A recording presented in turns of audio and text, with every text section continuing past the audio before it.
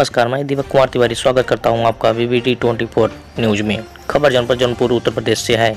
आज दिनांक महानिदेशक द्वारा सोशल मीडिया प्लेटफॉर्म के माध्यम से साइबर जागरूक दिवस का आयोजन किया गया, जिसमें पुलिस महाअधीक्षक एवं उप अधीक्षक गौरव कुमार द्वारा जनता को साइबर क्राइम के बारे में विस्तृत जानकारी दी गई और साथ ही साइबर क्राइम से कैसे बचाव किया जाए, इस संबंध में जनता से चर्चा किया।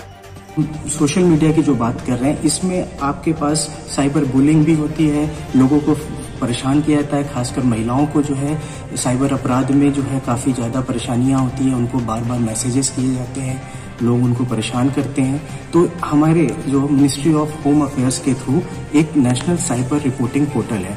जहाँ पे आप इसको रिपोर्ट कर सकते हैं, इस क्राइम को रिपोर्ट कर सकते हैं, जहाँ पे आपकी जो भी पहचान है उसको गुप्त रखी जाएगी और आप एक हेल्पलाइन है one five five two six zero वहाँ पर भी अपनी इंफॉर्मेशन को आप वहाँ पे भी शेयर कर सकते हैं अगर आपके साथ किसी तरह का भी साइबर अपराध हो रहा है।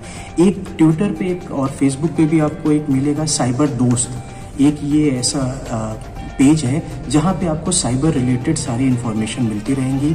आप इसको भी इस्तेमाल कीजिए। इसके थ्रू आप थोड़ा जागरूक हो सकते हैं और सोशल मीडिया को अच्छे से इस्तेमाल करें। यही मेरा आपको सुझाव है। अब हम आते हैं अपने दूसरे बिंदु पे, जिस जो है ओ और फेसबुक से रिलेटेड बिक्री आजकल बढ़ने लगी हैं। लोग अपने कुछ भी सामान होता है, उसको बेचने के लिए ओएलएक्स का इस्तेमाल करते हैं और फेसबुक का इस्तेमाल करते हैं। इसमें एक ट्रेंड देखने को मिला है कि नॉर्मली क्या होता है कि कोई अपने आप को एयरफोर्स का या आर्मी का ऑफिसर बताता है और वो बोलता है कि हम ये चीज़ को बेचना चाह रहे हैं और क्योंकि हम यहाँ से शिफ्ट होकर कहीं और जा रहे हैं।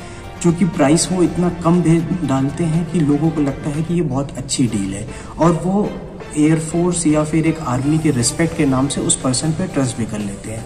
लेकिन यहीं पे वो झांसे में आ जाते हैं। होता यह है कि जैसे ही वो उस आदमी से बात करते हैं, उस पर एक विश्वास बना लेते हैं। तो जो चीज़ फ़िज़िकल वेरिफिकेशन हम कहते हैं कि जो हम भौतिक निरीक्षण करते हैं चीज़ों का, वो वहाँ ना होके हर चीज़ जो है ऑनलाइन हो जाती है। हर चीज़ एक वर्चुअल वर्ल्ड में हो जाती है। हम फ़ोन पर उन पर विश्वास करके उनके हम पैसे ट्रांसफ़र करना शुरू कर देते हैं।